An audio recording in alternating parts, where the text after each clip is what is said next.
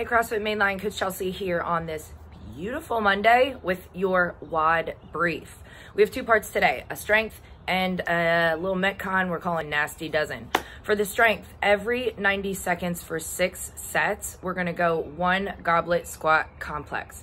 This goblet squat complex is going to be seven bottom range goblet squats, seven top range goblet squats, right into seven full range squats all right? This is a segmented squat, so make sure that you're hitting on the top range from parallel to all the way up, back down to parallel. Bottom range will be parallel to the bottom, back to parallel. And full range, we all know, is full hip extension at the top, hip crease below, bottom at the bottom.